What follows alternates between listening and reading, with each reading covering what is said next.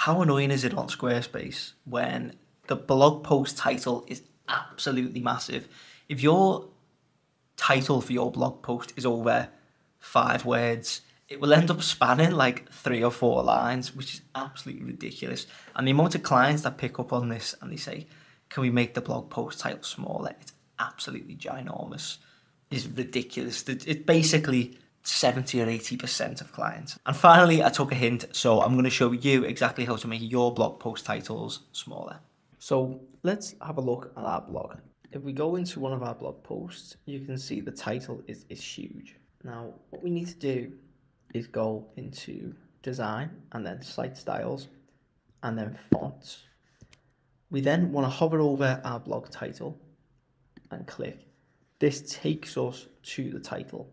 What we don't want to do is go into size here and change it to any of these because whilst it does make it smaller, it takes it away from being a H1. And when we do that, we decrease the SEO juice that the blog could potentially have. So it needs a H1 to make it clear to users and search engines what the blog is all about.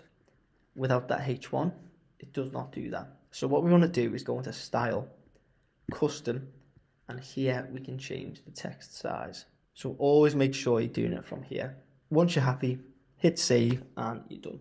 If you found this useful, please make sure to leave a like, hit subscribe and check out all the Squarespace resources in the description below.